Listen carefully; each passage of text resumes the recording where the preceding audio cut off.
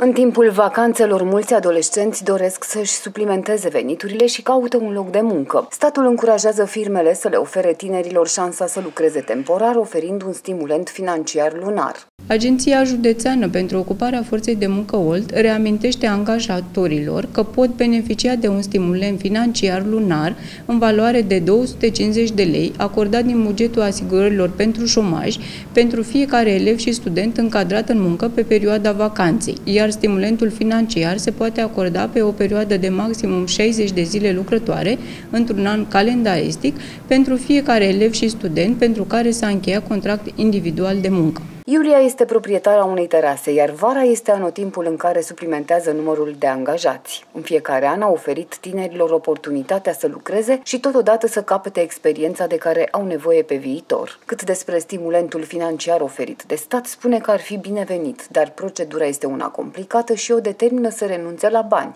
Avem nevoie de personal, în special ne dorim să oferim o șansă tinerilor, uh, pentru că necesită meseria asta necesită o experiență și la noi o pot găsi.